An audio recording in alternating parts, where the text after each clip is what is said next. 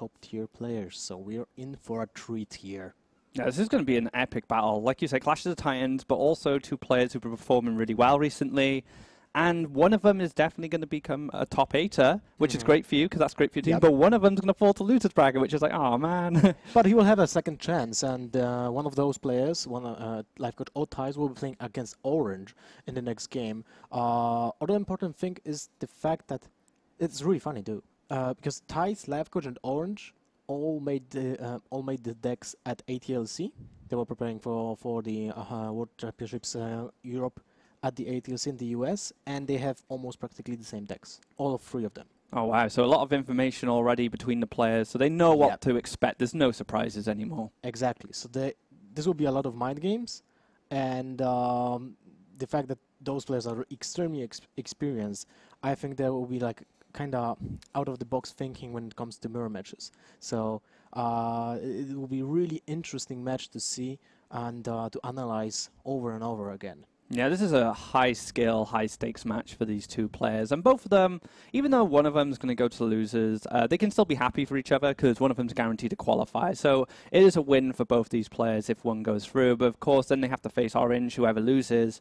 And I'm sure they're confident because they have all that knowledge and that information. And Yep. they're riding off the win at ATLC as well. So they have a lot of momentum going forward in these matches. Definitely.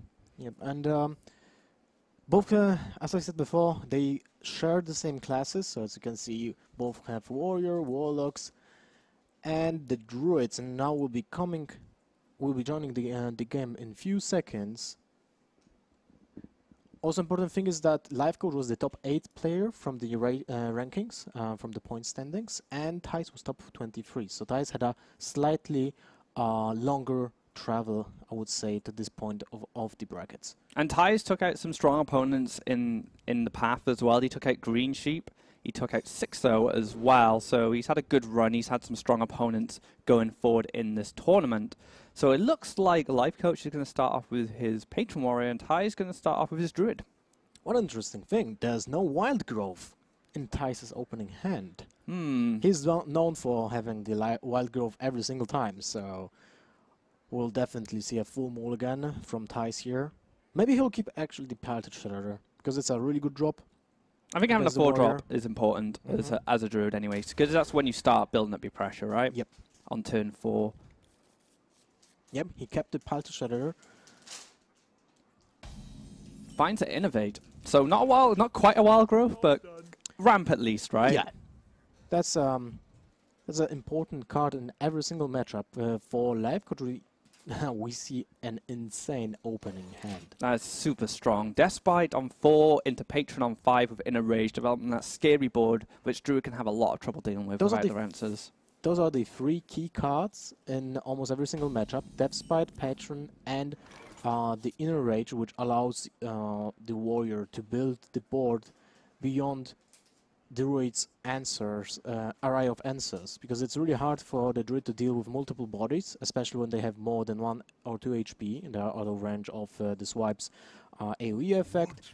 And um, in this situation, it allows the warrior to build momentum on the board with uh, really a, a small chances of druid making a comeback. But at the same time, we see that Thais has one of the answers uh, to at least the Death's Bite. So the Harrison Jones will be also a key card in this matchup. It's uh, it's very important to uh, to save the Innervate and coin when you see you have the uh, the Harrison Jones already in hand. When you know that you can um, use the the mana acceleration to build, uh, as I said before, to bu- build the momentum to take the game uh, to, to take the game from the warrior's hand.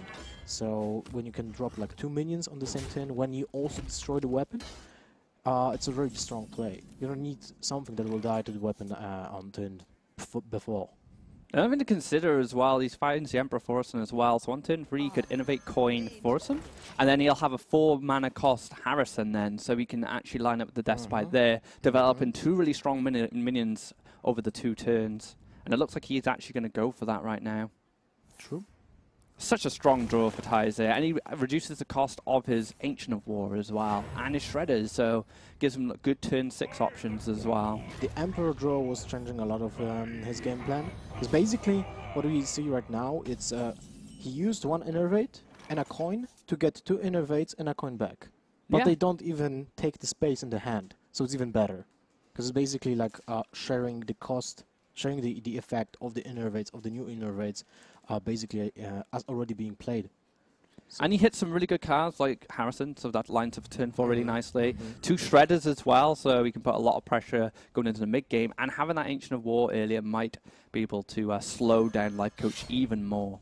Lifecoach thinks he has his game still, because there's the Death Spider with uh, um, with the patrons next turn with double inner rage, which is really insane. But little he knows that there will be an answer in the form of Harrison Jones right now on turn 4.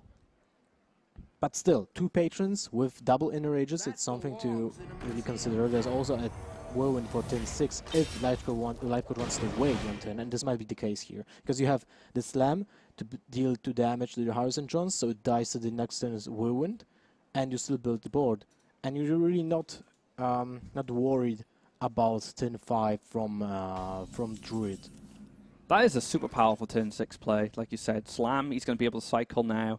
He's going to take Mhm. five from the Harrison, but it's not much of a big deal. When next turn, double inner range whirlwind on the patrons is going to make such a powerful board, which is going to be really tough for Thijs to deal with. Exactly. And his his answers at the moment are swipe and one swipe, one wrath. But if it was just inner rage and uh, just inner rage and whirlwind, uh, he might be able to deal with most of it. But because he's going to have tons of even more patrons because of double inner rage, it's going to be even more difficult for Thijs, especially if he loses board as well, It's- which he will. it depends on how Lifecoach would like to build his board, and I think he would like to build it as much as possible. So he might use both Inner Rages and Whirlwind next turn. And it opens up for a battle rage the following turn after that. So if uh, the patron, a lot of patrons stick around, he has a nice card draw mechanic coming in to accelerate his uh, deck even more and find even more threats for Definitely. Thijs to deal with. Now, interesting thing here. Life Coach uh, uh, could have opted for two options. One of uh, the options was to armor up and not show the weapon, because right now he telegraphs your Harrison Jones will die to an AoE effect next turn. So this also um, changes the course of action for Thijs. He will be. Uh, he, he basically knows that there's a patron with Whirlwind on next turn, and he has to prepare uh, uh, for that situation. So he will not be playing Azure Drake No. this turn. Uh, probably the same will go for the Shade of Naxxramas, because if this might also alternate the the um, the game plan for Lifecoach. Maybe he will use then double um, double AOE effects just to clear the Shade of Naxxramas because it's it's kind of annoying. Um, maybe that's that's a that's a better play actually because otherwise you will have to play Piloted Shredder, which dies the weapon, which is not also a good option. Yeah, I like that. I agree. Because, like you said, if you play Shredder, it gets hit by the weapon, and it might just give something else uh, that gets cleared up by a Whirlwind effect. So you might Mhm, get like a. Parrot, or you might get a Gnomish uh, Engineer.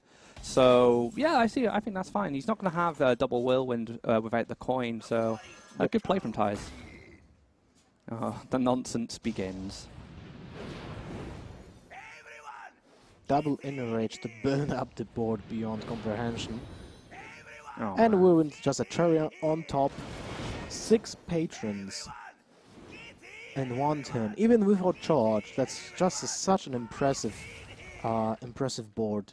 against Druid as well, which Druid would really struggle dealing with stuff like this. Uh, Mhm. Against Warlock, he wouldn't have done this because of Hellfire. You know, there's a nice way to clear them up, but Druid doesn't have that option or any cards that are similar to that, which are ran right now. So, next turn for Thijs. Swipe one of the patrons. You generate one more patron. Two are dying.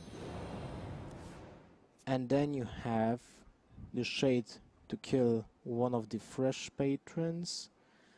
Uh, That's not looking good. So you can Wrath one, so another can free Wrath- freeze. You, you have to start with the swipe.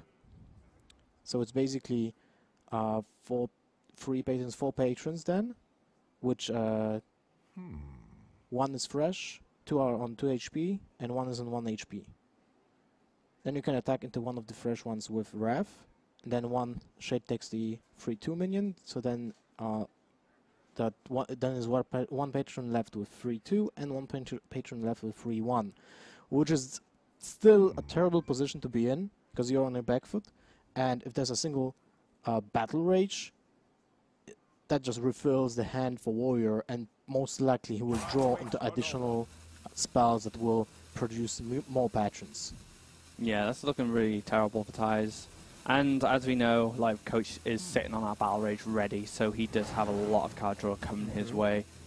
Alright, here we go. Swipe going to come down. After producing a new patron, so this um, fills the board before the area effect will trigger more to, to make more patrons. And this is a heads up play. If you will draw an example, let's say Force of Nature next turn. But it's still, still really sad to see the 10 with Battle Rage right now. Three cards for two mana. Life Coach wants to draw a single damage spell. Unfortunately, he didn't draw it, so Force of Nature would be really good for Looking- Thijs. it's looking kind of better for Thijs right now.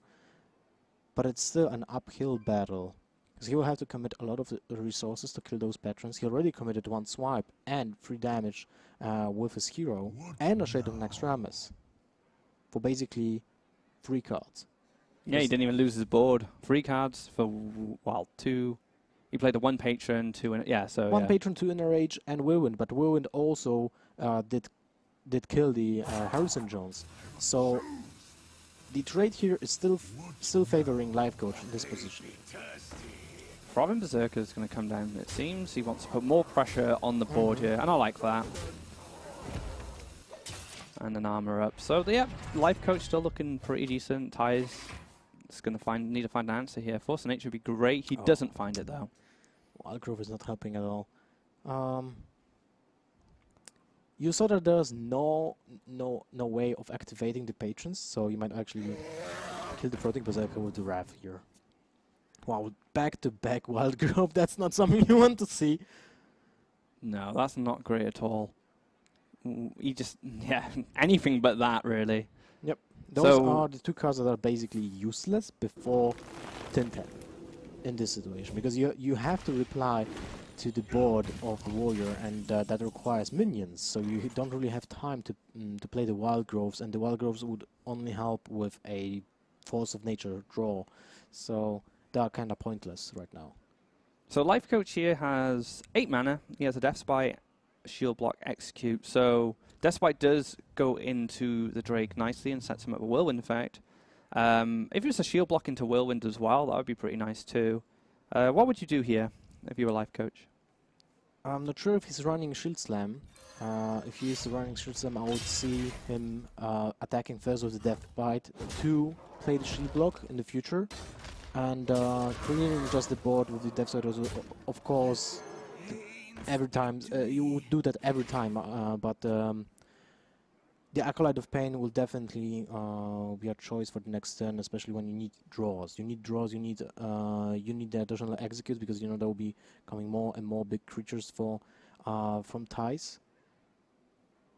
Yeah, it's looking tough still. Where do you go here? Do Ancient of War? Doctor Boom is just doesn't seem great. Uh, Double Shredder. Doctor uh, Boom is awful in this yeah. situation because you, you you can't really feed uh, the bombs to the patrons. So Thijs is kind of looking desperate to get rid of these, th- uh, get rid of those patrons right now before the Death Spider explodes. Yeah, And this is just a cr- cry for help, I will say. It's really horribly looking for for Thijs. How can you deal with a double inner rage patron with Whirlwind? And this is this is just biting him back from 10-6. He can't deal with a situation what which was spawned on turn 6. Imagine that. Is he close to lethal here, right, with the war song? Or does he just have it? He gets six from the patron, That's four 6, from that's the 7, weapon. that's uh, 12, right? No, that's 11. 11, yeah. 11, but there will be ad- uh, one additional draw which might spawn additional patron. Uh, well, that's That's it. that's it. That's an additional patron. Didn't come from board, came from hand, but it's fine. Uh, so Thijs is going down here. Life Coach having an amazing mulligan hand, which really set up this game for him. Yeah, he had a perfect draw, you have to say this. Um, Thijs had a minimal chance of making a comeback with the single Harrison Jones, but still getting the, the. Imagine the situation when there will be no second inner rate for Life Coach.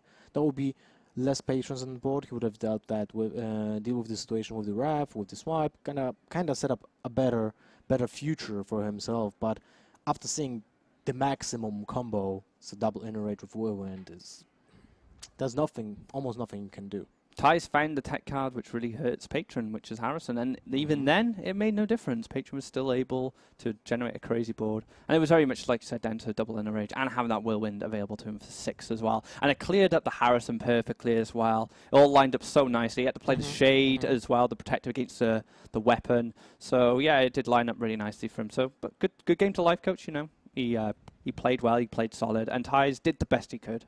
I, I- well, both players basically played flawlessly. I would say, and there was no, nothing you could done differently, and um, yeah, that's how those patron how patrons uh, sometimes works, you know. And uh, it's a it's a deck. It's a deck of uh, which doesn't have which doesn't have really a counter, and this is something players are aware. You can build your lineup against patron and still lose to patron because even with, with uh, 70-30 chances, there's like an insane turn with Emperor, double Frothing Berserkers, or an example when you play uh, against a druid, you care more about the patrons. It, it, it's all about uh, the game plan for, for the patron player. If he is aware of how he should play the matchup, most of the time it's an uphill battle for your opponent. Yeah, I wouldn't generally build a lineup to try and counter Patron. Uh, that just just doesn't seem like a good idea. We had that uh, one of the players that actually qualified uh, had a um, in the NA qualifiers had a uh, whole lineup against the patron, and he actually was through. Oh, wow, so it did worked work well out for him. him. But I'm not a fan of that uh, of of that strategy. You know. Yeah, it doesn't. It's not. It doesn't seem as secure as just plain solid decks. Uh, just trying to counter one deck. But Mhm. moving forward now, we have Life Coach playing the Handlock versus Druid. So this actually falls quite nicely for Thijs as far as matchups are concerned. But you know, Handlock's a super powerful deck. Uh, can get out of Druid's reach if it gets a lot of taunts and a lot of minions. Because the Handlock can play as many minions as he wants. He, he doesn't really care for Druid's. An- it doesn't have any solid kind of AOE removal. Uh, what do you think of these hands?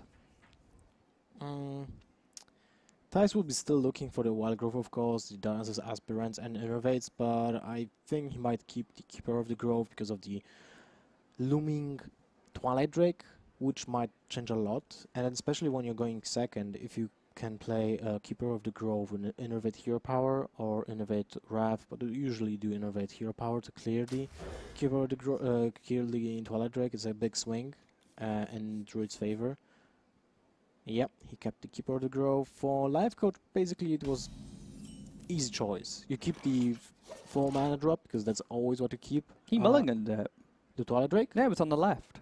Uh, that's sometimes that uh, changes in the spectator mode. Like Oh, really? reason. Yeah. Oh, So that's I, I think bad. that was the um, I think that was the same Drake. Yeah, okay. So, well, it's the same Drake. It's the same guy. He's stuck around. Mm-hmm. So he does have the Wow. Innervate as well, like you were just talking about. Thijs has a really impressive hand. Wild Growth, Innervate, Keeper, and Big Game Hunter.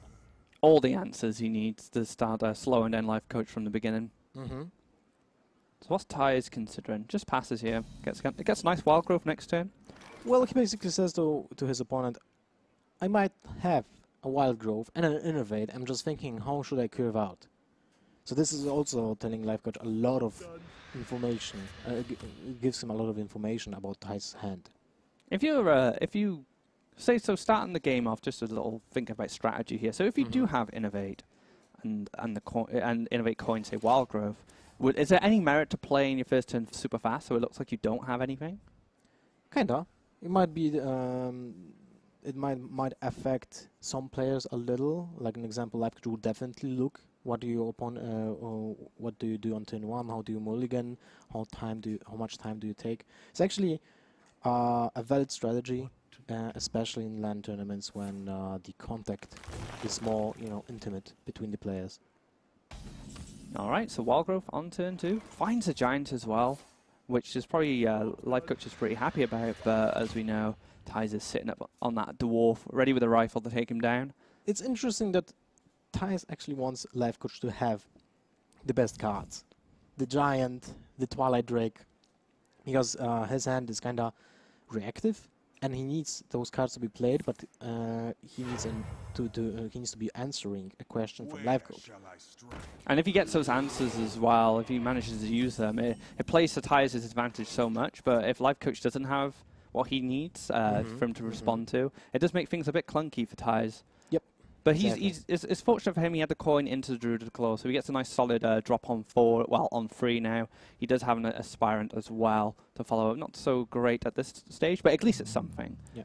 And now the uh, when life uh, sorry when Thijs played the Druid of the Claw, uh, it might push Life Coach to play a Giant instead of a Twilight Drake because for li- uh, Thijs it's better to see a Giant right now with the Big Game Hunter, even when there's the Keeper of the Grove in his hand because he wants to nicely curve into the turn six with a Keeper of the Grove hero power to kill the Twilight Drake, and the Giant uh, will be most likely played in here instead of the Twilight Drake because it actually kills the Druid of the Claw in one swing. Yeah, the Giant is definitely the best option here because if you just play the Twilight Drake, the, the Druid of the Claw's staying around, right? Unless you commit a mhm, Dark Bomb mhm. or something else. So yeah, definitely go for the Giant here. Thijs finds another Keeper of the Grove. So two Twilight Drakes in Life Coach's hand, two Keeper of the Groves in Thijs's. So lots of answers in his hand. And he's getting to play his game now. His, he's playing to the strength of his hand. He's reacting to what Life Coach is playing. Yeah, and uh, by playing the Darnassus Aspirant, he basically says to Life Coach, you have to Hellfire um, this board, and that makes Life Coach off curve, which is very nice for Thijs, and he still has a 4-3 on board, which is, you know, just the plan for, for Druid. You need something on board, you need to threaten uh, the situation with Savage Roars, um, and um just to find the finishing blow at some point. And if he doesn't have the Hellfire, he's got a nice stable board right now. And then he knows Life Coach doesn't have an AoE response if he doesn't play it. And Mhm. uh, the pressure can be uh, put on Life Coach from the Druid. Something to consider for next turn, perhaps. If a, if a Drake does come down from Life Coach here and uh, Thijs has kind of a withdraw, it might be worth cycling the Wrath here to find uh, maybe an answer. In you say? most of the situations, you want to keep the wrath when you can salvage your HP as resource. So there will be a Twilight Drake. In most situations, you would just silence the Twilight Drake and keep uh, and use the hero power on it. The problem is Thijs is uh, not having a clear win condition here because he, he might be worried about the Molten Giants, and uh, if there will be two Molten Giants and he just you know attacks fiercely, fearlessly into the uh, Handlock's hero power, it would mean that he, he would have to deal the damage to the giants, and that's not easy to do when you don't have a Savage Roar, for Yeah. example. So, uh, in this situation, I wouldn't blame him t- for just attacking with one creature and passing the turn. Maybe with the Darnassus Aspirant too, because it's 10-6, so um, Warlock being at 16 is not a threat when it comes to the Molten Giant, so definitely I would like to see the attack of the Darnassus Darnassus Aspirant right now. Because if he keeps uh, if he keeps him at 18, there's no there's no molten giant, right? If he hits him at 16, that's his it's tap and molten. It's really slow, and this is a big board, and he has minions that can trade, so it kind of works out. He actually goes for the attack with the Druid of the Claw, so he's hoping there is no maybe. So if he had a giant, he could tap Well- giant taunt up. 30, uh, 14 is still not that great for life coach because that basically allows him to only play one giant with uh, Sunfury Protector, which doesn't really change anything because he um, Thijs has a great answer for that in form of well, first of all, he has the, the silence for um, the taunt, and if you even without that, he has a double force. Uh, I mean, Big Game, Hunt, Big Game Hunter and Druid of the Claw if he wants to trade that, or just Big Game Hunter, Darnassus Aspirant, and Keeper of the Grove, so it's still okay.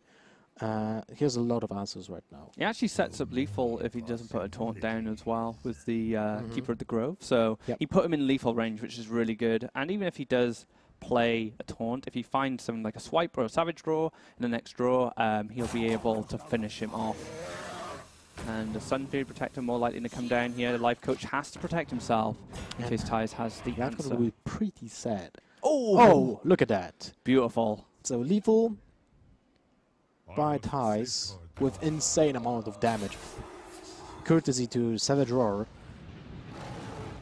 Oh, wow. Basically Pyroblast for free mana. Yep.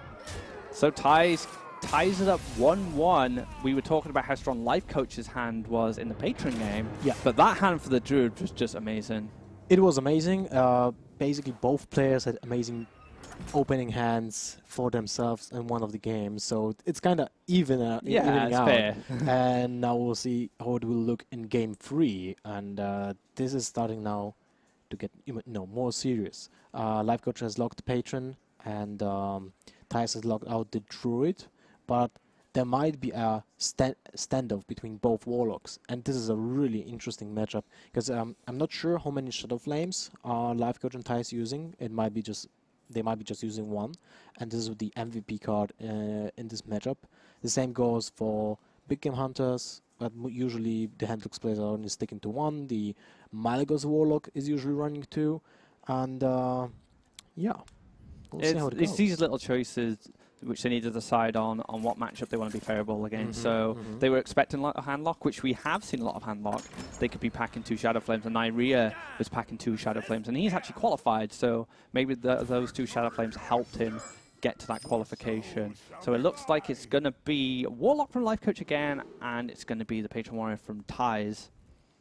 Mm, I talked with Savjz a lot uh, about this matchup, and Savjz, uh, in Savjz's eyes, this matchup is 70-30 uh, for Warlock. Uh, I wouldn't exactly maybe say as it's, as as much, but it's still favorably uh, it's, it's, still heavily favored for the Warlock. Um, the only only viable strategy for Patron is to kill your opponent with a really big, enormous Frothing Berserker. Uh, you can't really count patrons as a uh, means of. I, I, mean, you can't really count patrons as a win condition because um, they usually die to Hellfire, so you, you use the patrons as a means to trade into minions of, uh, of your opponent. And the finishing blow is usually just the Floating Berserker. So what you want to do here is to just stack those Floating Berserkers in your hand, maybe hit a, hit a Emperor, and keep those executes till the turn when you actually can squeeze the damage to the Warlock's uh, hero. Patrons are kind of the taunt slayers in this matchup. They have mm-hmm. more use just taking out the big taunts rather than pushing for the final blow. And Frothing Berserker is the, the big the big winner for the patron if he's going to find it. And execute, he's got one there ready for any big threats that are going to come down. Life coach on the other hand, he's packing two giants, Twilight yep. Drake, Thaurissan. He's packing a lot of stuff, a lot of scary stuff. This will be a huge problem for Thijs because he will have to use the execute early uh, in the game just to, um, you know, kill the giant to, to survive the early game because you can't really do anything about those giants unless you want to sacrifice like an attack from Death's Bite or two attacks from Death's Bite. That's that's 24 damage because the giant will most likely attack also in the meantime. So that's not a viable strategy. Yeah, he's gonna have to find a way to deal with it, and he hasn't he hasn't got Spite like you said. Uh, he has two Frothing Berserkers, so that's also affecting his plan, uh, his game plan. He has a Shield Slam to deal 4 damage if your armor's up. He can use the ex I, I would think maybe there's a way to save the execute for later on. So you want to cycle first. Let's say you use the Slam, puts the uh, Giant on 8-6 stats. Uh, no, that doesn't do anything. You can't really play you can't really uh, deal easily with the giant here, so yeah. The execute seems to be the easiest way. But unfortunately, as I said, usually you want to save those executes uh, for um, late the um, the, the, the upcoming turns. Yeah, the taunters, the the, the great wall from uh, Warlock. I do like the Frothing Berserker from Thijs here mm -hmm. because he's saying if you have another giant, um, this Frothing might be able to deal with him as well. So although I use, use the first execute, a second giant uh, may not pose as much as a threat, and the Frothing Berserker clearing up a giant is uh, not too bad. Uh, Twilight Drake uh, might be his choice here, uh, because then it has a it's not as threatening as a giant, and he can hold off onto that until he sees some more removal from Thijs. So maybe kind of bait something out. So what would you what would you do as life coach here? Do you think it's either Drake, uh, Giant, he's got a lot of options. I would say you have to use the Thaurissan here. If you want to get back into the driver's seat, uh, you have to decrease uh, the mana cost of your hand. You have so much potential in those cards, especially with the Shadow Flame. Uh, you can take one hit from the Frothing Berserker, even if there will be like a AoE, uh, kind of double AoEs here, because it, it, it, won't stack up as much uh, as Thijs would like to. I really love the um, tempo uh, Frothing Berserker from Taisto. Uh, it, it's really aggressive, and that's like the only way you can play this matchup. It's either you go full combo if you have Emperor in your side, or you just go aggressively, and I really love that. Yeah, it, it basically made it, it gave a, a, threat on the board that life coach will mm-hmm, eventually have mm-hmm. to deal with, or it can start uh, contesting the board. But it looks yep. like he's gonna be able to clear this up really nicely. From Visit is gonna get buffed a little bit more, and he gets to push some damage on life coach, putting pressure on that overall life total. So six damage from the Frothing Berserker. It's, uh, it's starting to look really intimidating for life coach. And he doesn't have a clean answer to it yet, he, unless he plays Doomguard, but that just seems a bit weak, because you throw away so many good stuff. And if you throw away the Shadow Flame as well, that's the only AoE you have so far. So It looks really bad for Lafgard right now. Super risky. Um, so, could tap if he wanted to, but it's quite dangerous at this stage, because Thijs could have uh, some more whirlwind effects and inner mm -hmm, rages mm -hmm. and all sorts of stuff, and he could really push this Frothing to be able to finish him off, so he needs to be careful there. Uh, where would you go? Giant seems okay, I suppose. It's an A8. It contests the Frothing, might put some pressure on the board. but even then... Uh, it's, uh, it's really, really dangerous for Lifecoach. A single Whirlwind uh, on turn 7 adds plus 3 attack on the Frothing Berserker, so that's 9, 11, 14 damage. So that's really, really dangerous. He's put I just wanted to say that the, the only answer here is Twilight Drake into Shadow Flame, and that doesn't necessarily uh, say to to that he doesn't have a Hellfire, because he might just just be lacking the Mortal Coils to finish uh, the 4 HP minion uh, off. So there's no information about the Hellfire, uh, but from Lifecoach uh, from a Lifecoach perspective, that was his last resort. That was a desperate move to just deal with the Frothing Berserker and yep, that has to be done. But it's still not looking. It's not now when he dealt with the Frothing Berserker. It's not looking that bad for him, uh, unless there will be another threat from Thijs. But I don't think Thijs will uh, will want to play uh, the uh, Frothing Berserker again, especially when you can't buff at the same turn and you're not sure what's happening and Thijs uh, and sorry in the Lifecoach's hand when there was a one Emperor effect because you can't really predict what will be happening next turn. And Thijs has been slowed down quite a lot now from that play, so it does give Lifecoach an opportunity to catch up here. Gets to draw some more cards with the Inner Rage. Uh, Inner Rage on the Acolyte says to Lifecoach, there's no patron in hand, uh, most likely, or if there is a patron, the rest of the hand is really clunky. So it gives a little, little um, wiggle room for, for Lifecoach to be more um, more greedy? more greedy, yes. That was the word I was looking for. Hellfire finds his way to his hand, so he does have an, an answer to a patron board. Mm -hmm, but he's sure now that there's no patron in hand. Yeah, but at least it's there. Uh, so he can maybe maybe go for the giant now. Could even tap if he wants to be super greedy. I'm thinking about the tap. Uh, just you have to. Lifecoach is counting the damage that can um, Thijs dish out on turn eight he used the inner rage, so you know there was no patron turn, so you, the other option is on the second Frothing Berserker. And uh, there was no no good turn for a Whirlwind to appear on the board. And so there might be still a Whirlwind, there might be a Unstable Ghoul, so in the most intimidating uh, possible turn, it's uh, Warsong Commander, Frothing Berserker, double Whirlwind, or just one Whirlwind, or Unstable Ghoul, And that's uh, four 3 damage from Tyson's uh, board. So that's 5 damage with Frothing Berserker and 3 from um, Acolyte, so that's 8, 11. That's 11 damage uh, from his opponent's board, so that's still not enough to kill him. So he's just out of reach there. He uh, will need a little bit more if he wants to finish him off. Does find a Sunfury Protector from the, the, the tap, which is really good, so he'll be able to set up a bit of a taunt wall uh, in the next few turns. Thijs has a slam here, so can cycle if he feels he needs to. Uh, and he still has the Acolyte of Pain for more draw. Mm -hmm. uh, by seeing the the tap, uh, he knows there will be more answers coming next turn. So he, he has to find the combo cards he's looking for. So I Slam will be played first, definitely. Then you will see what you draw and might change the uh, the target for Acolyte of Pain because you might here you basically you can spare uh, the giant for one turn uh, if you want to deal phase damage, but at the same time you you don't have answers to the wall of taunt that will be coming down if there will be a molten giant, so you want to risk it, and we'll just go for draws this turn. No, the shield slam. Interesting. So is he going for face here?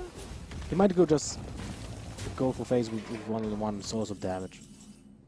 I like that. It Keeps the Acolyte alive, so he still has some access to draws But next he turn. has he has no answer to Molten Giants. Even if he wouldn't attack, that would allow Lifecoach to tap to four to 14, right? Yes, to 14 health, and that would be enough to play one giant with taunt.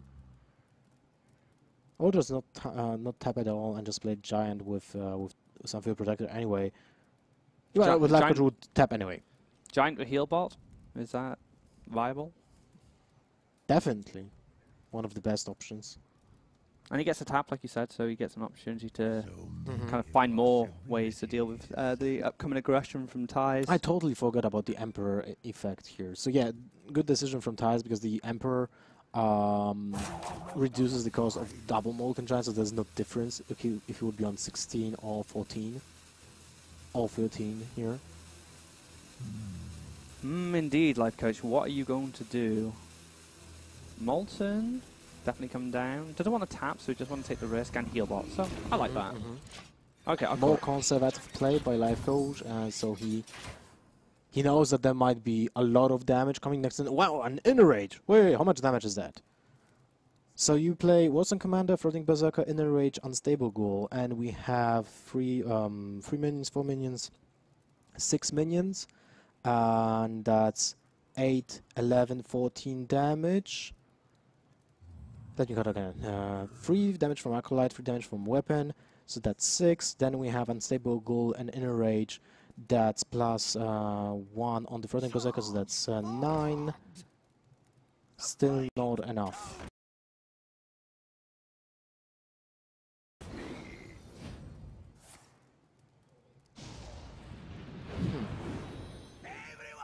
He still has. He still has Warsong and Frothing in his hand as well. So Yeah, I'm curious about the patron here. Uh, it pushes uh, Lifecoach to use the Hellfire.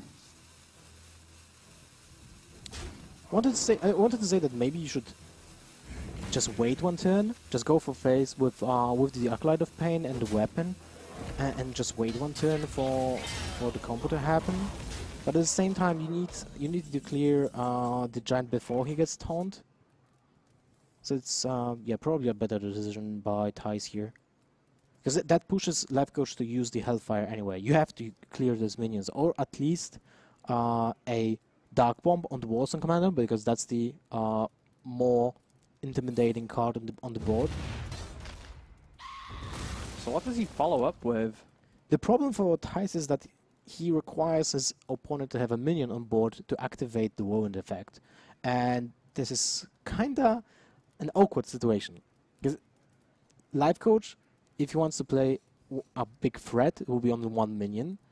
And, uh, oh, he goes with the Big Game Hunter. Okay. And taunts it up. So he forces Thijs to deal with that. Death's Bite. Oh, that's a great draw. That's excellent for for Thijs. Give another whirlwind effect, so he can uh, take another turn now. Just clear up this minion, and uh, has that whirlwind effect sitting in the back, ready for next turn, which might be the turn that he can kill him with an extra four It will damage. this. definitely, it will definitely be lethal next turn. Unless there will be a huge minion taunt. I mean, he can go. Oh, Uh, look at that, Molten Giant. You can go Molten Giant. Mal'Ganis. It's got 10 mana, so Mal'Ganis taunt as well. There's that too. Mal'Ganis Taunt is viable option. You saw one execute, you saw the Shield Slam, and uh, you saw double Inner Rage. Uh, no Whirlwinds yet, no Unstable Ghouls. So that's the problem. But you know that there might be only one Warsong Commander left, and when you when you saw that Warsong Commander used used uh, with the first patron situation, uh, you know there has to be another Warsong Commander already in hand because Thijs wouldn't sacrifice uh, his combo pieces just to clear an untaunted uh, Molten Giant. I think something to consider here, perhaps, is taunting up the Molten Giant. So uh, you force Thijs then to use his resources to clear the Molten Giant, and then if uh, if he does clear it, you have Mal'Ganis then, so you can't just ignore Mal'Ganis. Mal'Ganis has taunt itself. I think you just taunt up the Sunfury Protector if you want to. Yeah. Might be viable too, but Leopard just just plays the Mal'Ganis itself, so forces Thijs to answer the Mal'Ganis first. How much damage is that? You use the Warsong Commander, I think that's lethal. Warsong Commander, Frothing Berserker, and Unstable Ghoul, you attack the weapon first to Mal'Ganis, you deal 5 damage to him.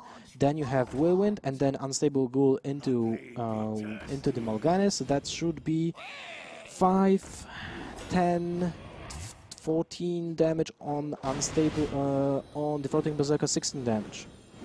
So that's lethal. And there we go. We're talking about how this is a good 17, matchup. sorry. Yeah, we're talking about which is a good matchup for the. You were saying 70-30 from Savjz, and here we have Thijs being able to close out this game with a frothing combo. Would it have been different if he had used the Molten Giant perhaps as taunted? Would it would it just been the same? Uh, well, no, because uh, he wouldn't be able to kill the Mal'Ganis.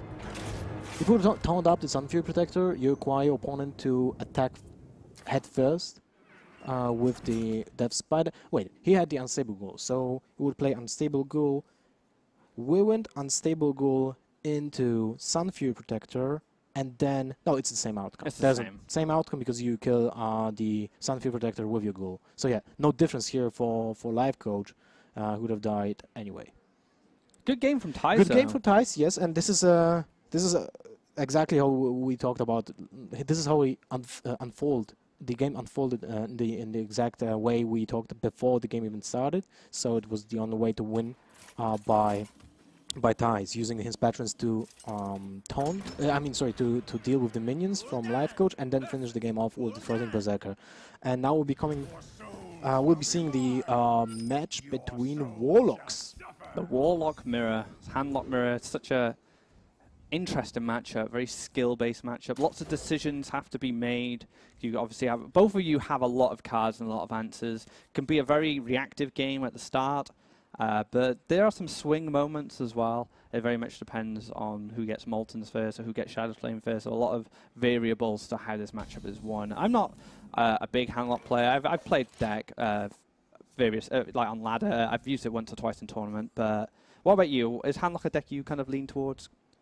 I'm a m- more zoo player because I like same. the uh, I like the interaction with vo- uh, with, with uh, Voidcallers and Bane of Doom. That's like my, one of my favorite decks, but I can't really dismiss the power level of Handlock. Uh, I so, uh, uh, I chose many times Handlock over Zoo just because it fits the metagame better, uh, and but Lifecoach and Thijs are known for being the Handlocks players. Yeah. So they're both specialists in this uh, in this case, and uh, they exactly know what do, should they mulligan for, what um, how are the threats being answered, and what should you do each turn. So first of all, you want to play your Twilight Drakes before the Giants, because even if there's a silence, uh, there has to be a second card to answer the Twilight Drake after that, and um, the giant will die instantly to Big Game Hunter, which puts you, puts you in an awkward spot because you don't want uh, your opponent to have a 4-2 on board.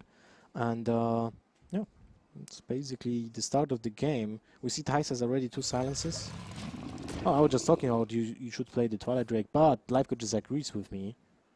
And uh, BGH is going to clean up nicely. But he has another giant sitting there, so maybe he's just like, if he has the BGH, he has the BGH. I just follow up. I have another giant to follow up later, so it's fine.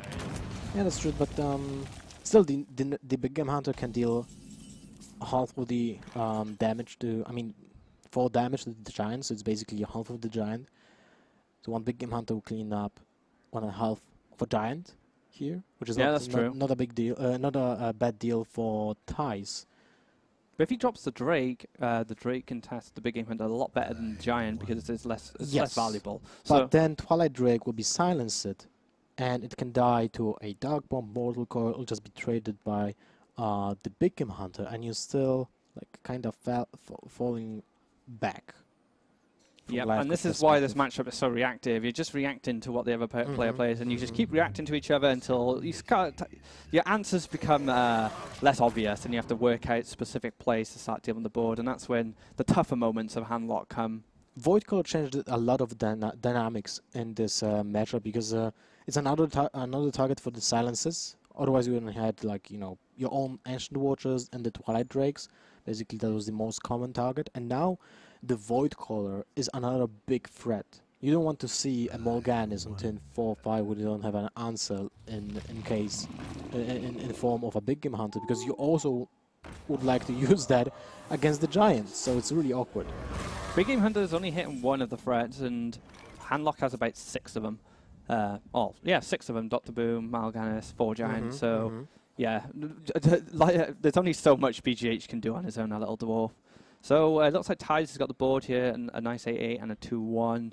Uh, no Big Game Hunter from Lifecoach, so he can't deal with the Giant just yet.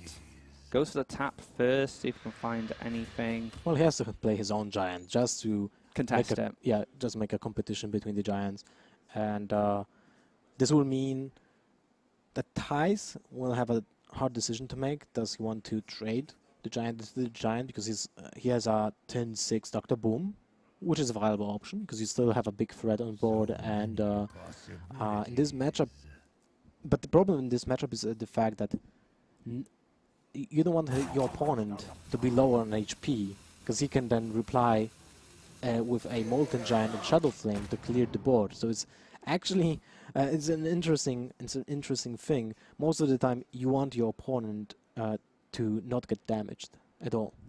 So we were talking about two BGHs, and you were saying Mal- Malygos lock uh, generally runs two, B- two BGH. Here Thijs us two as well.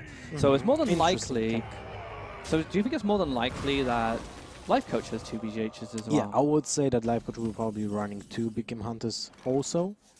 Um, because as I said before, we before we started the games, they both prepared at the same time. They made a, um, they talked a lot with each other and with Orange too. So I wouldn't be surprised if Orange is also running two Big Game Hunters. I'm sure they predicted that there will be a handlock meta game right now because um, uh, well, we actually see that, right? Almost everyone is playing handlock. So playing two big game hunters in your own handlock um, ups your chances and uh, in the mirror match, definitely. I think Kalento's the only player who's brought a different Warlock variant, and he's brought the Malylock instead of Handlock. Mhm. But yeah, we've just had lots of Handlocks, lots of Patrons, lots of Druids, lots of Paladins, and that's kind of the, the theme of this qualifier for us Yeah. so far. Malygos Warlock is great against handlocks, but it's way weaker against uh, Patron Warriors. So I would definitely favor in this uh, in this uh, in this metagame uh, the handlocks. So Dark Bomb Hellfire to deal with the forest, and he can't leave it alive. He can't let Thijs get any more value. Leaves the giant here, but this is kind of awkward to Thijs in a way when it comes to actually wanting to attack with this.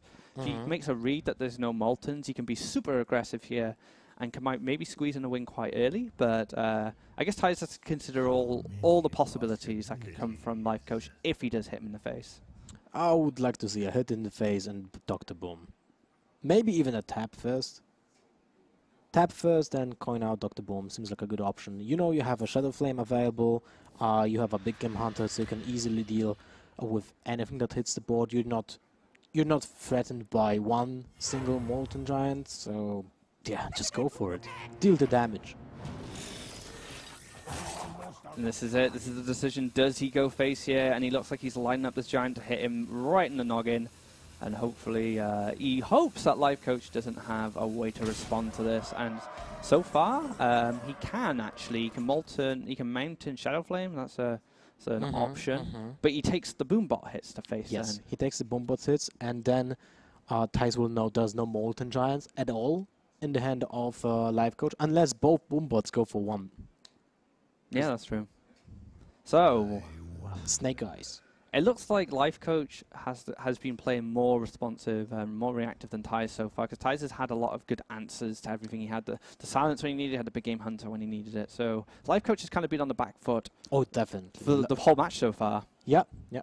Uh, uh, apart from the game one, Thijs has really great draws against Lifecoach um, questions, basically. He always draws what he needs to answer the threat, and in this case, he has ev- even the answer still still in his hand. So he's like prepared for every single uh, uh, every single um, board state. The Shadow Flame, the Big Game Hunter, the Owl. Those are like really important cards. He does find his own big game hunter. It doesn't really help here. no, it doesn't. I mean it's it's it, it deals with the Big Game uh, with the Doctor Boom, but This could be it. This could be Thijs qualifying if these boom bots get lucky hits to the face Uh, here. do- Oh, no, not necessary at all. You just silence the Game Hunter, and that's basically it. You deal 8 damage to the face, Hellfire. Hellfire, yeah. I was looking at the wrong hand here, but Lifecoach actually goes out. Wow! So Thijs advances to the next stage, to the offline offline finals, right? Yeah, in For- Prague. In Prague, third, third double inner rage to build up the board beyond comprehension. Oh, And man. we went just a cherry on top. Six patrons in one turn, even without charge. That's just a, such an impressive, uh, impressive board. against Druid as well, which Druid really struggle dealing with stuff like this. Uh, Mhm. Against Warlock, he wouldn't have done this because of Hellfire. You know, there's a nice way to clear them up, but Druid doesn't have that option or any cards that are similar to that, which are ran right now. So, next turn for Thijs, swipe one of the patrons. You generate one more patron. Two are dying, and then you have the shade to kill one of the fresh patrons. Uh, That's not looking good. So you can Wrath one, so one of the free Wrath- freeze. You, you have to start with the swipe. So it's basically uh, four, three patrons, four patrons then, which uh, one is fresh, two are on 2 HP, and one is on 1 HP. Then you can attack into one of the fresh ones with and then one Shade takes the free 2 minion, so then uh, that one, then is one, one patron left with free 2, and one patr- patron left with free 1, which is still a terrible position to be in, because you're on your back foot, and if there's a single uh, Battle Rage, that just refills the hand for Warrior, and most likely he will draw into additional uh, spells that will produce m- more patrons. Yeah, that's looking really terrible for Thijs.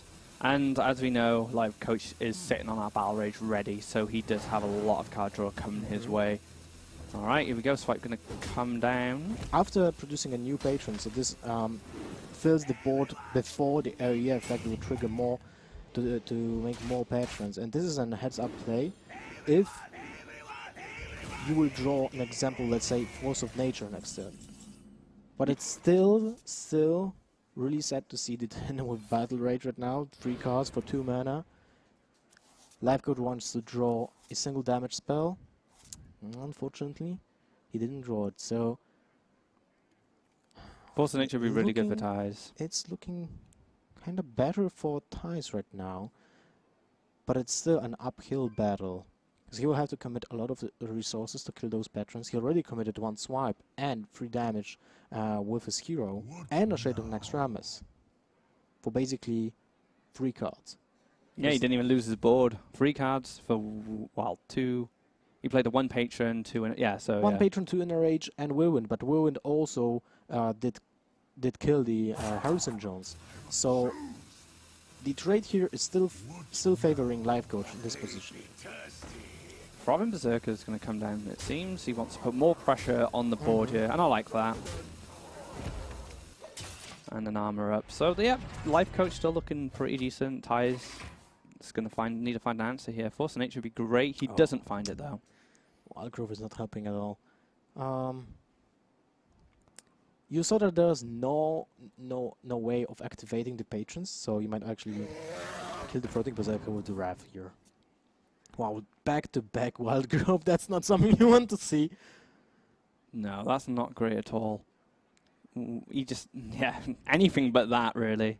Yep, those So- are the two cards that are basically useless before Tinten in this situation because you you have to reply to the board of the warrior and uh, that requires minions so you don't really have time to mm, to play the wild growths and the wild growths would only help with a force of nature draw so they are kind of pointless right now So Lifecoach here has 8 mana. He has a Death's Bite, Shield Block, Execute. So Death's Bite does go into the Drake nicely and sets him up a Whirlwind effect. Um, if it was a Shield Block into Whirlwind as well, that would be pretty nice too. Uh, what would you do here if you were Lifecoach? I'm not sure if he's running Shield Slam. Uh, if he is running Shield Slam, I would see him uh, attacking first with the Death Bite to play the Shield Block in the future. And uh, just the board with the Death Bite was, of course, every time. Uh, you would do that every time, uh, but um, the Acolyte of Pain will definitely uh, be a choice for the next turn, especially when you need draws. You need draws. You need uh, you need the additional execute because you know there will be coming more and more big creatures for uh, from Thijs. Yeah, it's looking tough still. Where do you go here? Do Ancient of War? Dr. Boom is just doesn't seem great. Uh, Double Shredder. Doctor uh, Boom is awful in this yeah. situation because you, you you can't really feed uh, the bombs to the patrons. So Thijs is kind of looking desperate to get rid of these, th uh, get rid of those patrons right now before the Death Spider explodes. Yeah. And this is just a cr cry for help, I would say. It's really horribly looking for for Thijs. How can you deal with that double inner rage patron with Whirlwind? And this is this is just biting him back from turn six. He can't deal with a situation what which was spawned on turn six. Imagine that. Is he Close to lethal here, right, with the War Song? Or does he just have it? He gets six from the patron, That's four six. from the seven. weapon. That's uh, twelve, right? No, that's eleven. 11, yeah. 11, but there will be uh, one additional draw, which might spawn additional patron. Uh, well, that's That's it. that's it. That's an additional patron. Didn't come from ball, came from hand, but it's fine. Uh, so Thijs is going down here. Lifecoach having an amazing mulligan hand, which really set up this game for him. yeah, he had a perfect draw. You have to say that. Um, Thijs had a minimal chance of making a comeback with the single Harrison Jones, but still getting the, the. Imagine the situation when there will be no second inner rage for Lifecoach. There will be less patrons on the board. He would have dealt that with uh, deal with the situation with the Wrath, with the swipe, kind of kind of set up a better better future for himself. But after seeing the maximum combo, so double inner rage with whirlwind is there's nothing, almost nothing you can do. Thijs found the tech card, which really hurts Patron, which is Harrison. And even then, it made no difference. Patron was still able to generate a crazy board. And it was very much, like you said, down to double inner rage and having that whirlwind available to him for six as well. And it cleared up the Harrison perfectly as well. It all lined up so nicely. He had to play the Mhm, shade mhm. as well, the protector against the, the weapon. So, yeah, it did line up really nicely for him. So, but good good game to Lifecoach, you know. He, uh, he played well, he played solid. And Thijs did the best he could. Uh, well, both players basically played flawlessly, I would say. And there was no nothing you could done differently, and um, yeah, that's how those patron how patrons uh, sometimes works, you know. And uh, it's a it's a deck.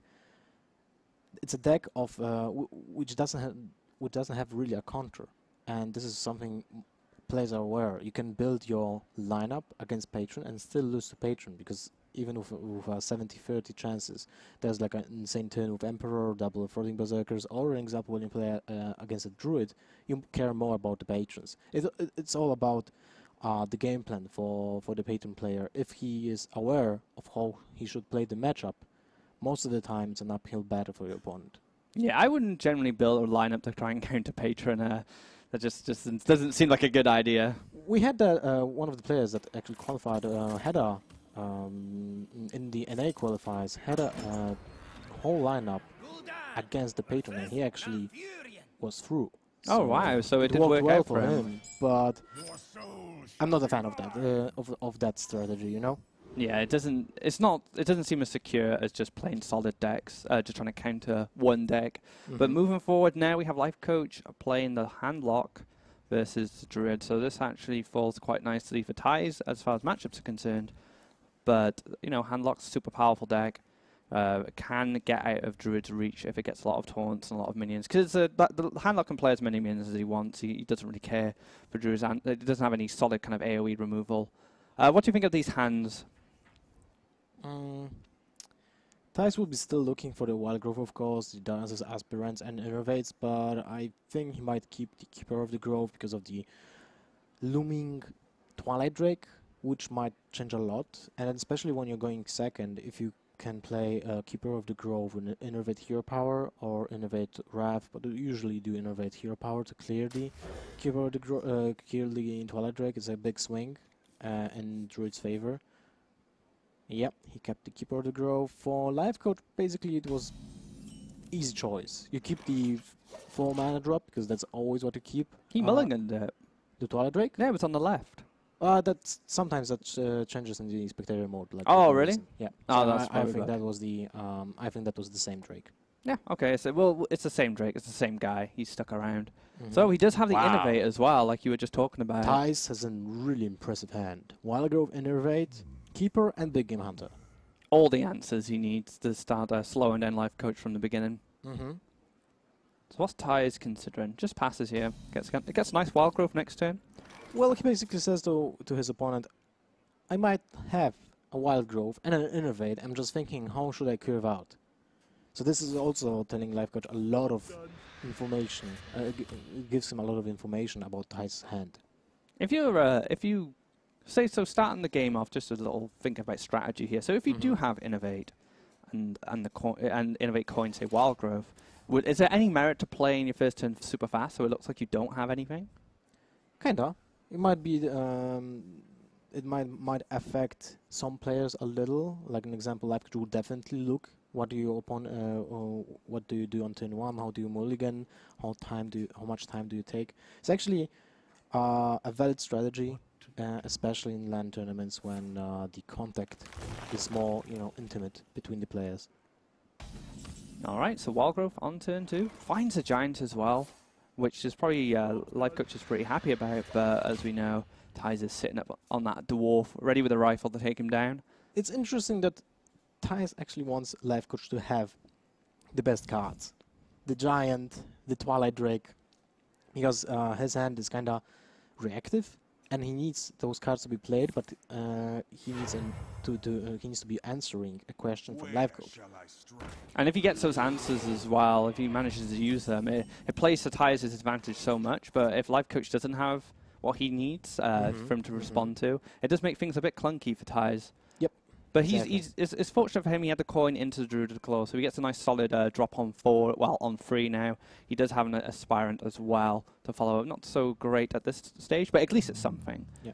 And now the uh, when Life uh, sorry when Thijs played the Druid of the Claw, uh, it might push Life Coach to play a Giant instead of a Twilight Drake because for li- Thijs it's better to see a Giant right now with the Big Game Hunter, even when there's the Keeper of the Grove in his hand because he wants to nicely curve into the turn six with a Keeper of the Grove hero power to kill the Twilight Drake, and the Giant uh, will be most likely played in here instead of the Twilight Drake because it actually kills the Druid of the Claw in one swing.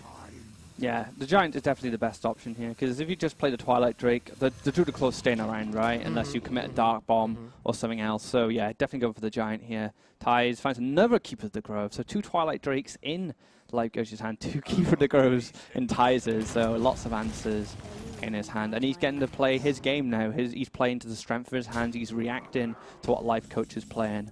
Yeah, and uh, by playing the Darnassus Aspirant, he basically says to Life Coach, you have to Hellfire um, this board, and that makes Life Coach off curve, which is very nice for Thijs, and he still has a 4-3 on board, which is, you know, just the plan for, for Druid. You need something on board, you need to threaten uh, the situation with Savage Roars, um, and um just to find the finishing blow at some point. And if he doesn't have the Hellfire, he's got a nice stable board right now. And then he knows Life Coach doesn't have an AoE response if he doesn't play it. And Mhm. uh, the pressure can be uh, put on Life Coach from the Druid. Something to consider for next turn, perhaps. If a, if a Drake does come down from Life Coach here and uh, Thijs has kind of a withdraw, it might be worth cycling the Wrath here to find uh, maybe an answer. In you say? most of the situations, you want to keep the wrap when you can salvage your HP as resource. So there will be a Twilight Drake. In most situations, you would just silence the Twilight Drake and keep uh, and use the hero power on it. the problem is Thijs is uh, not having a clear win condition here because he, he might be worried about the Molten Giants, and uh, if there will be two Molten Giants and he just you know attacks fearlessly into the uh, Handlock's hero power, it would mean that he, he would have to deal the damage to the giants, and that's not easy to do when you don't have a Savage Roar, for Yeah. example. So, uh, in this situation, I wouldn't blame him for just attacking with one creature and passing the turn. Maybe with the Darnassus Aspirant too, because it's 10-6, so um, Warlock being at 16 is not a threat when it comes to the Molten Giant, so definitely I would like to see the attack of the Darnassus Darnassus Aspirant right now. Because if he keeps uh, if he keeps him at 18, there's no there's no molten giant, right? If he hits him at 16, that's his it's tap and molten. It's really slow, and this is a big board, and he has minions that can trade, Mhm. so it kind of works out. He actually goes for the attack with the Druid of the Claw, so he's hoping there is no. Maybe, so if he had a Giant, he could tap Well- Giant Taunt up. 30, uh, 14 is still not that great for Life Coach because that basically allows him to only play one giant with uh, Sunfury Protector, which doesn't really change anything because he, um, Thijs has a great answer for that in form of. Well, first of all, he has the, the silence for um, the taunt, and if you even without that, he has a double force. Uh, I mean, Big Game, Hunt, Big Game Hunter and Druid of the Claw if he wants to trade that, or just Big Game Hunter, Darnassus Aspirant, and Keeper of the Grove, so it's still okay. Uh, he has a lot of answers right now. He actually sets up lethal if he doesn't put a taunt down as well with the uh, Mhm. Keeper of the Grove. So Yep. he put him in lethal range, which is really good. And even if he does play a taunt, if he finds something like a swipe or a savage draw in the next draw, um, he'll be able to finish him off.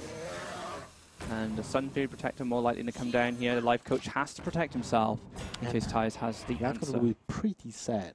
Oh, Oh, look at that. beautiful. So lethal by Thijs with insane amount of damage. Courtesy to Savage Roar.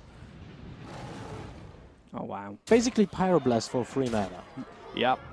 So Thijs ties it up 1-1. We were talking about how strong Life Coach's hand was in the Patron game. Yeah. But that hand for the Druid was just amazing. It was amazing. Uh, basically both players had amazing opening hands for themselves in one of the games. So it's kind of even uh, Yeah, it's out. fair. and now we'll see how it will look in game three. And uh, this is starting now to get you know more serious. Uh, Life Coach has locked patron, and um, has locked out the druid, but there might be a stand standoff between both warlocks, and this is a really interesting matchup because um, I'm not sure how many shadow flames are Life Coach and Thijs using. It might be just they might be just using one, and this is with the MVP card uh, in this matchup. The same goes for big game hunters, but usually the Handlock players are only sticking to one. The Malygos Warlock is usually running two, and uh, yeah, we'll see it's, how it it's these little choices which they need to decide on on what matchup they want to be favorable against. Mhm, so mhm. they were expecting a lot of handlock, which we have seen a lot of handlock. They could be packing two Shadow Flames, and Iria was packing two Shadow Flames, and he's actually qualified. So maybe the, those two Shadow Flames helped him get to that qualification. So it looks like it's going to be Warlock from Life Coach again, and it's going to be the Patron Warrior from Thijs. Mm, I talked with Savjz a lot uh, about this matchup, and Savjz, uh, in Savjz's eyes, this matchup is 70-30 uh, for Warlock. Uh, I wouldn't exactly maybe say as it's as, as much, but it's still favorably, uh, it's, it's still heavily favored for the Warlock. Um, the only only viable strategy for Patron is to kill your opponent with a really big, enormous Frothing Berserker. Uh, you can't really count patrons as a uh, means of. I, I mean, you can't really count patrons as a win condition because um, they usually die to Hellfire. So you, you use the patrons as a means to trade into minions of uh, of your opponent, and the finishing blow is usually just the Frothing Berserker.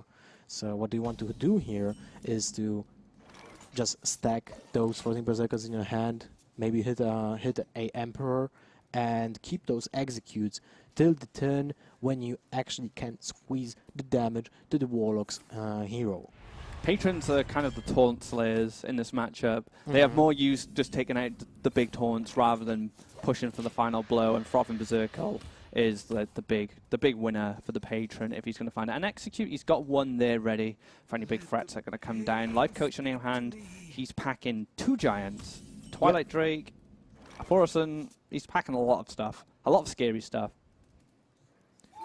This will be a huge problem for Thijs because he will have to use the execute early uh, in the game just to, um, you know, kill the giant to, to survive the early game because you can't really do anything about those giants unless you want to sacrifice like an attack from Death's Bite or two attacks from Death's Bite. That's that's 24 damage because the giant will most likely attack also in the meantime. So that's not a viable strategy. Yeah, he's to have to find a way to deal with it. And he hasn't, he hasn't got Death's Bite, like you said. Uh, he has two Frothing Berserkers, so that's also affecting his plan, uh, his game plan. He has a Shield Slam to deal 4 damage if your armor's up. He can use the ex- I, I, would- I would think maybe there's a way to save the Execute for later on. So you want to cycle first. Let's say you use the Slam, puts the uh, Giant on 8-6 stats. Uh, no, that doesn't do anything. You can't really play you can't really uh, deal easily with the giant here, so yeah. The execute seems to be the easiest way.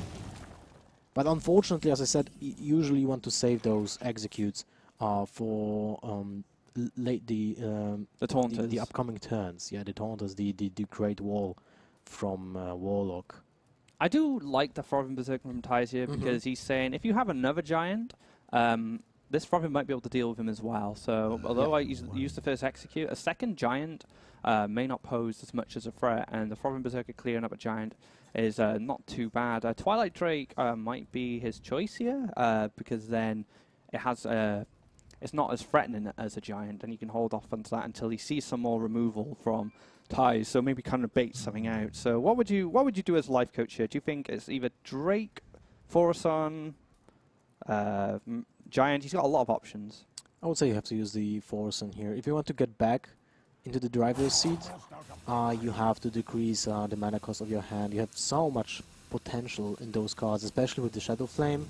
Uh, you can take one hit from the Frothing Berserker, even if there will be like a AoE, uh, kind of double AoEs here, because it, it, it won't stack up as much uh, as Thijs would like to. I really love the um, tempo uh, Frothing Berserker from Thijs though. Uh, i i it's really aggressive, and that's like the only way you can play this matchup. It's either you go full combo if you have Emperor in your side, or you just go aggressively. And I really love that. Yeah, it, it basically made it, it gave a, a threat on the board that life coach will e- Mhm, eventually have mhm. to deal with, or it can start uh, contesting the board. But it looks Yep. like he's gonna be able to clear this up really nicely. From Berserk is gonna get buffed a little bit more, and he gets to push some damage on life coach, putting pressure on that overall life total.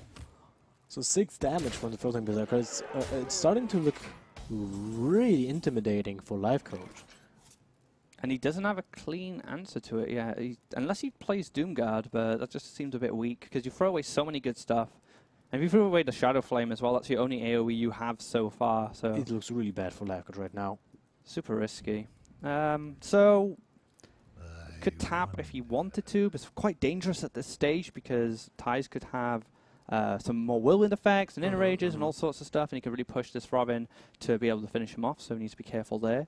Uh, where would you go? Giant seems okay, I suppose. It's an 8-8. It contests the Robin, might put some pressure on the board. But even then, uh, it's, it's really, really dangerous for Life Coach. A single Whirlwind uh, on turn 7 adds plus 3 attack on the Frothing Berserker, so that's 9, 11, 14 damage. So that's really, really dangerous. He's put. I just wanted to say that the, the only answer here is Twilight Drake into Shadow Flame, and that doesn't necessarily uh, say to to Thijs that he doesn't have a Hellfire, because he might just ju- just be lacking the Mortal Coils to finish uh, the 4 HP minion uh, off. So there's no information about the Hellfire, uh, but from life coach uh, from a life coach perspective, that was his last resort. That was a desperate move to just deal with the frothing berserker, and yeah, that has to be done. But it's still not game. looking. It's not now when he dealt with the frothing berserker. It's not looking that bad for him, uh, unless there will be another threat from Thijs. But I don't think Thijs will uh, will want to play uh, the f- uh, berserker again, especially when you can't buff it the same turn and you're not sure what's happening. And Thijs is uh, and sorry in the life coach's hand when there was a one emperor effect because you can't really predict what will be happening next turn. And Thijs has been slowed down quite a lot now from that play, so it does give Life Coach an opportunity to catch up here. Gets to draw some more cards with the Inner Rage. Uh, In the range on the acolyte says to life coach, there's no patron in hand, uh, most likely, or if there is a patron, the rest of the hand is really clunky. So it gives a little, little um, wiggle room for for life coach to be more um, more greedy. More greedy. Yes, that was the word I was looking for. Hellfire finds his way to his hand, so he does have an, an answer to a patron board. Mhm, But he's sure up. now that there's no patron in hand. Yeah, but it's, at least it's there. Uh, so he can maybe maybe go for the giant now. Could even tap if he wants to be super greedy. I'm thinking about the tap. Uh, just you have to. Life coach is counting the damage that can um, Thijs dish out on turn eight. He used the in- iterate, so you know there's a patient turn. So you, the other option is on the second frothing berserker, and uh, there was no no good turn for a whirlwind to appear on the board, and so there might be still a whirlwind. There might be a unstable ghoul. So in the most intimidating uh, t- possible turn, it's uh, Warsong Commander, Frothing Berserker, double whirlwind, or just one whirlwind or unstable ghoul, and that's uh, four three damage from Thijs' uh, board. So that's five damage with Frothing Berserker and 3 from Acolyte, so that's 8. 11, that's 11 damage uh, from his opponent's board, so that's still not enough to kill him. So he's just out of reach there. He uh, Thijs will need a little bit more if he wants to finish him off. Does find a Sunfury Protector from the, the the tap, which is really good. So he'll be able to set up a bit of a taunt wall uh, in the next few turns. Tice has a slam here, so cycle if he feels he needs to. Uh, and he still has the. Top tier players, so we're in for a treat here. Yeah, this is going to be an epic battle. Like you said, Clash of Titans, but also two players who've been performing really well recently. And one of them is definitely going to become a top eighter, which is Mhm. great for you because that's great for your team. Yep. But one of them's going to fall to losers bracket, which is like, oh man. But he will have a second chance, and uh, one of those players, one uh, life coach or Thijs, will be playing against Orange in the next game. Uh, other important thing is the fact that it's really funny too, uh, because Thijs, life coach, and Orange all made the uh, all made the decks at ATLC.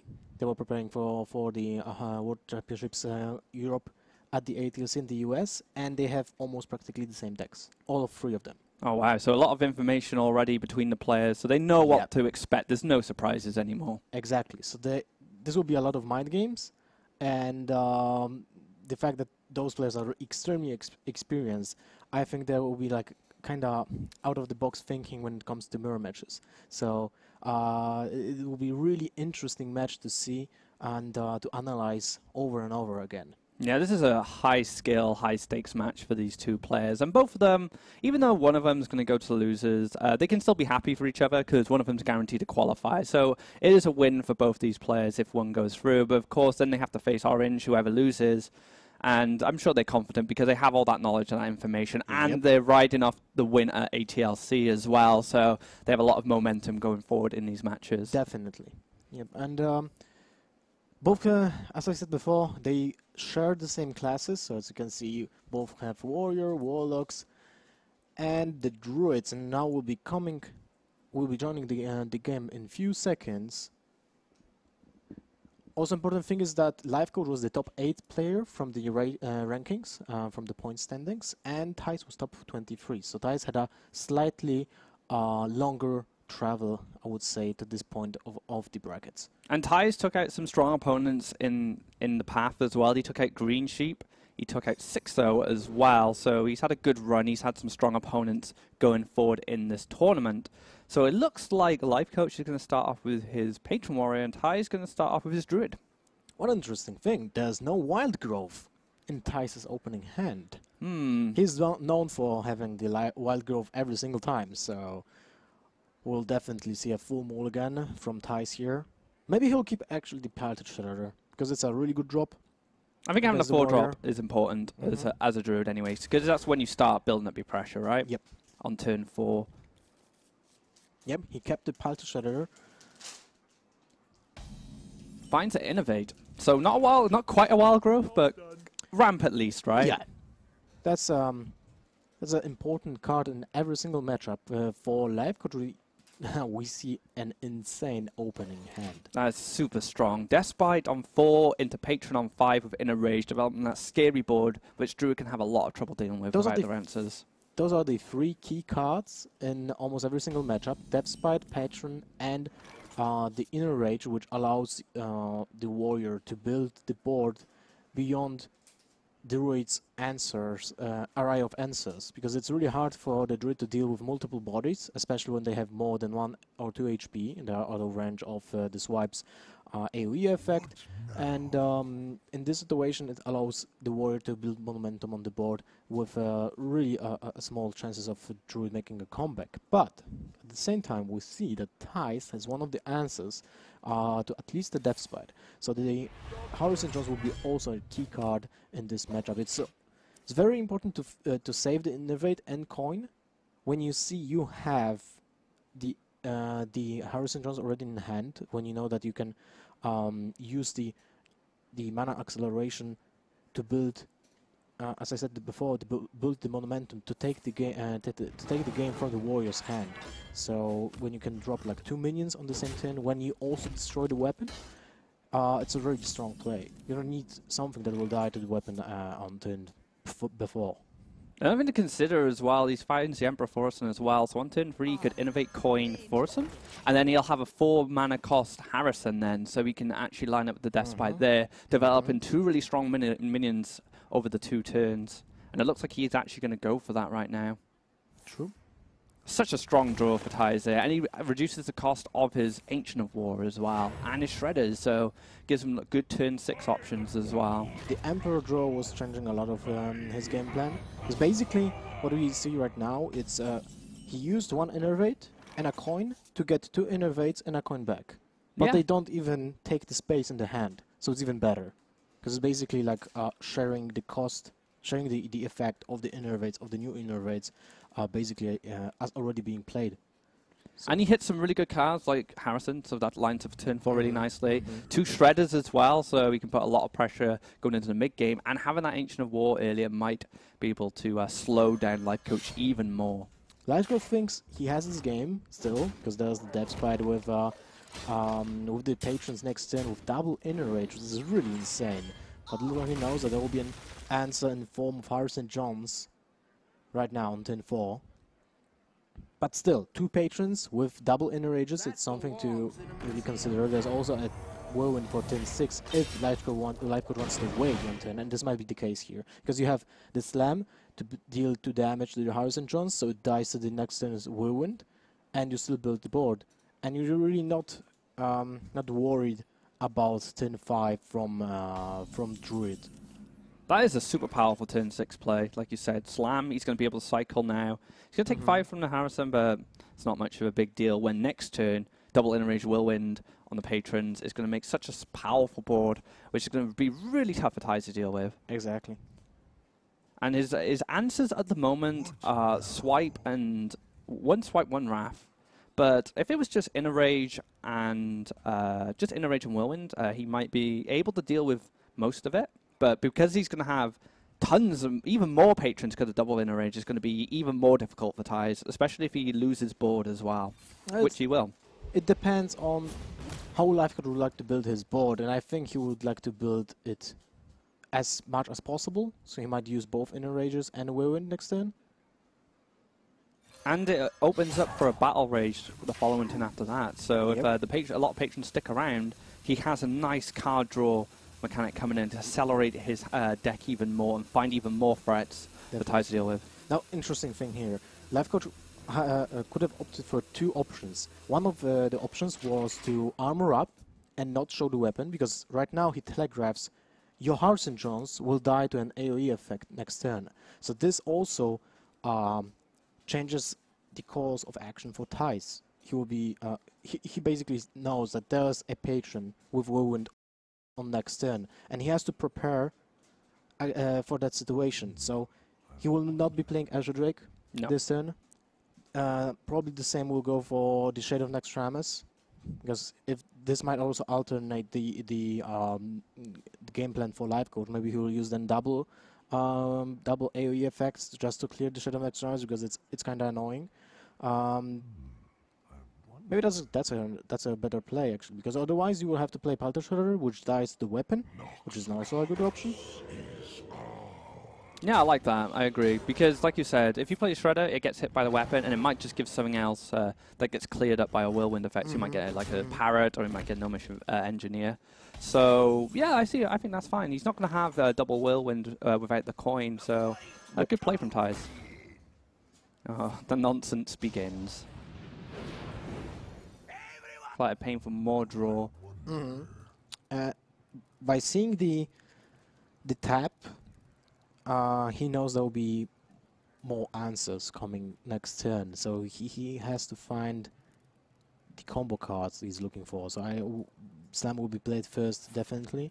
Then you will see what you draw and might change the uh, the target for Acolyte of Pain because you might here you basically you can spare uh, the giant for one turn uh, if you want to deal phase damage, but at the same time you you had, don't have answers to the Wall of Taunt that will be coming down if there will be a Molten Giant, so you want to risk it, and you will just go for draws this turn. No, the Shield Slam. Interesting. So is he going for Fates here? He might go just go for phase with, with one on one source of damage, I like that. Keeps the Acolyte alive, so he still has some access to draws but next he turn. has he has no answer to Molten Giants. Even if he wouldn't attack, that would allow Life Coach to tap to four to 14, right? Yes, to 14 health, and that would be enough to play one giant with taunt. Or just not ta- uh, not tap at all and just play giant with uh, with Sunfury Protector anyway. Yeah, Gi- with Life Coach giant- would tap anyway. Giant with heal bolt? Is that viable? Definitely, one of the best options. And he gets a tap, like you said, so he gets an opportunity to Mhm. kind of find more ways to deal with uh, the upcoming aggression from Thijs. I totally forgot about the Emperor effect here. So yeah, good decision from Thijs because the Emperor um, reduces the cost of double Molten Giant, so there's no difference if you if you would be on 16 or 14 or 13 here. Mm, indeed, life coach. What are you going to do? Molten, definitely come down. Doesn't want to tap, so he just want to take the risk and heal bot. So I like that. Okay, I'll More go. conservative play by Life Coach, uh, so he he knows that there might be a lot of damage coming next. turn. Wow, an Inner Rage! Wait, how much damage is that?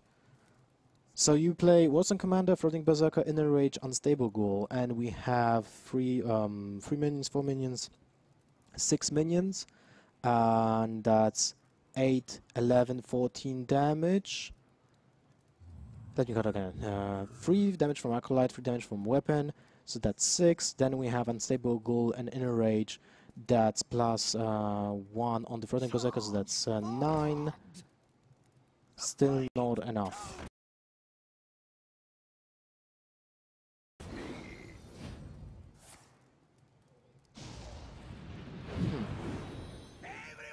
He still has. He still has Warsong and Frothing in his hand as well. So Yeah, I'm curious about the patron here. Uh, it pushes uh, Life Coach to use the Hellfire. Wanted to say, I wanted to say that maybe you should just wait one turn, just go for face with uh, with the Acolyte of Pain and the weapon, and, and just wait one turn for for the combo to happen. But at the same time, you need you need to clear uh, the giant before he gets taunt. So it's uh, yeah probably a better decision by Thijs here. Because that pushes Life Coach to use the Hellfire anyway. You have to clear those minions, or at least uh, a Dark Bomb on the Warsong Commander, because that's the uh, more intimidating card on the, on the board. so what does he follow up with? The problem for Thijs is that he requires his opponent to have a minion on board to activate the Whirlwind effect. And this is kinda an awkward situation. Because Life Coach, if he wants to play w- a big threat, it will be only one minion. And, uh, oh, he goes with the Big Game Hunter. Okay. And haunts it up. So he forces Thijs to deal with that. Death's Bite. Oh, that's a great draw. That's excellent for for Thijs. Give another whirlwind effect, so he can uh, take another turn now. Just clear up this minion, and uh, has that whirlwind effect sitting in the back, ready for next turn, which might be the turn that he can kill him with an extra four It will damage. this. definitely, it will definitely be lethal next turn. Unless there will be a huge minion with taunt. I mean, he can go Oh, Uh, look at that, Molten Giant. You can go Molten Giant. Mal'Ganis, it's got 10 mana, so Mal'Ganis Taunt as well. There's that too. Mal'Ganis Taunt is a viable option. You saw one execute, you saw the Shield Slam, and uh, you saw double Inner Rage. Uh, no Whirlwinds yet, no Unstable Ghouls. So that's the problem. But you know that there might be only one Warsong Commander left, and when you when you saw that Warsong Commander using used uh, with the first patron situation, uh, you know there has to be another Warsong Commander already in hand because Thijs wouldn't sacrifice uh, his combo pieces just to clear an untaunted uh, Molten Giant. I think something to consider here, perhaps, is taunting up the Molten Giant. So uh, you force Thijs then to use his resources to clear the Molten Giant, and then if uh, if he does clear it, you have Mal'Ganis then, so you can't just ignore Mal'Ganis. Mal'Ganis has taunt itself. I think you just taunt up the Sunfury Protector if you want to. Yeah. Might be viable too, but could just just plays the Mal'Ganis itself, so forces Thijs to answer the Mal'Ganis first. How much damage is that? You use the Warsong Commander, I think that's lethal. Warsong Commander, Frothing Berserker, and Stable Ghoul, you attack the weapon first to Mal'Ganis, you deal 5 damage to him. Then you have Whirlwind, and then Unstable Ghoul into, uh, into the Mal'Ganis, so that should be 5, 10, 14 damage on Unstable, uh, on the Frothing Berserker, 16 damage. So that's lethal. And there we go. We're talking about how this is Uh, a good 17, matchup. sorry. Yeah, we're talking about which is a good matchup for the. You was saying 70-30 from Savjz, and here we have Thijs being able to close out this game with a frothing combo. Would it have been different if he had used the Molten Giant perhaps as taunted? Would it would it just been the same? Uh, well, no, because uh, he wouldn't be able to kill the Mal'Ganis. If you would taunt up the Sunfury Protector, you require your opponent to attack head first uh, with the Death Spider. Wait, he had the Unstable Ghoul, so he would play Unstable Ghoul, went Unstable Ghoul into Sunfury Protector, and then... No, it's the same outcome. It's the There's same. Same outcome because you kill uh, the Sunfury Protector with your Ghoul. So yeah, no difference here for, for Lifecoach, uh, who would have died anyway. Good game from Thijs. Good game for Thijs, yes, and this is uh, this is uh, exactly how we talked about. This is how we unf- uh, unfold. The game unfolded uh, in the in the exact uh, way we talked before the game even started. So it was the only way to win uh, by by Thijs using his patrons to um, taunt. Uh, I mean, sorry, to to deal with the minions from Lifecoach and then finish the game off with the frothing berserker. And now we'll be coming.